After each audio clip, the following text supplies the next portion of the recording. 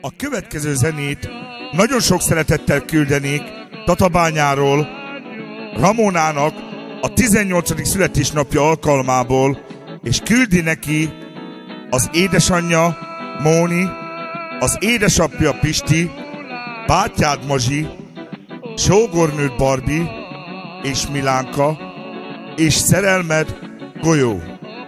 És ezzel a zenével szeretnének felköszönteni születésnapodra erőt, egészséget, hosszú életet, boldogságot kívánni. Fogad sok szeretettel ezt a zenét tőlük.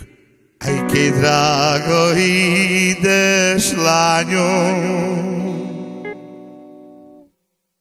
de köszöntünk mi a születésnapod